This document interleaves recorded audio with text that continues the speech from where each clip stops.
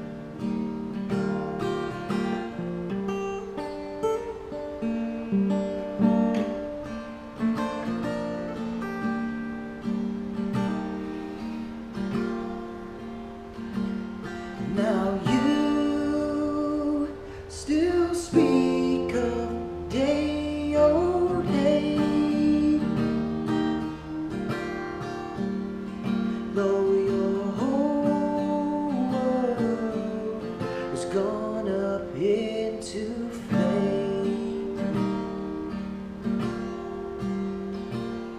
And isn't it great to find that you're really worth nothing?